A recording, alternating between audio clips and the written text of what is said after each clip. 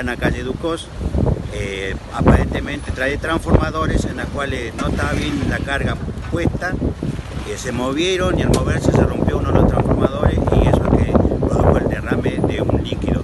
En un principio no sabíamos qué tipo de líquido era.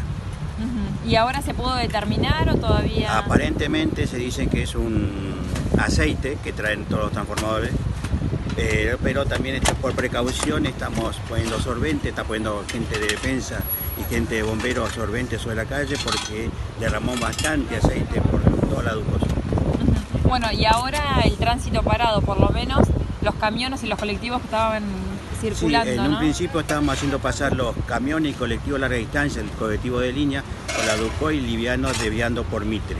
En este momento eh, está trabajando bombero y defensa, poniendo sorbente en la calzada, eh, paramos todo el tránsito de camiones. El liviano sigue continuando el desvío por Mitre.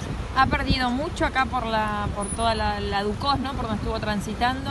Sí, ha perdido bastante, ha perdido bastante aceite.